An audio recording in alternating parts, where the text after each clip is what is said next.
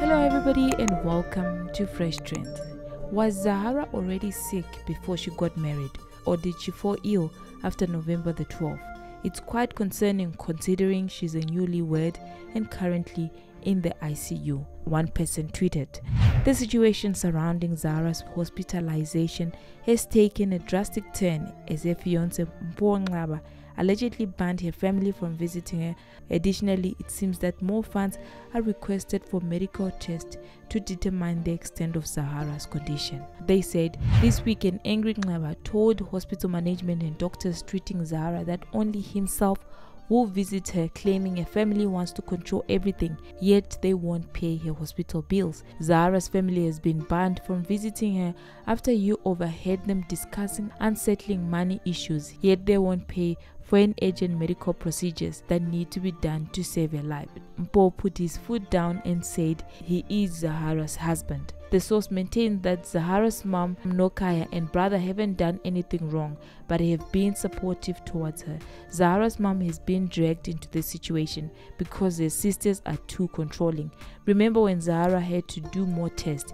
It was his brother who raised the money, ran into a few thousands of rands added the source. Subsequently, Mpho took matters into his own hands, informing the hospital management and doctors that he alone would attend Zahara. He further took his role as Zahara's husband and accused the family of seeking undue control. The source further mentioned that while Zahara's mother and brother have been supportive, her sisters have been doing too much, have been controlling. Zimoja has learned that more money is needed for more tests to be performed to determine how far she can be assisted medically but but her family doesn't have enough money.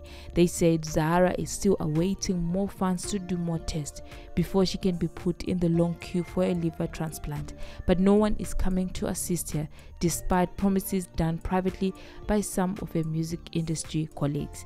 According to a source, chances of her spending Christmas in hospital are high after she was admitted a fortnight ago with a liver related complications. Despite a man settling boundaries about who can visit, it is alleged that Cassper Nyovest paid Zahara a visit this week on two occasions. They said Cassper made sure he didn't take any photos with her or anyone in case photos of Zahara are leaked on the internet since she is frail, says one of the source. The news broke last Sunday that Zahara was sick, but her family and management team asked for privacy and prayers.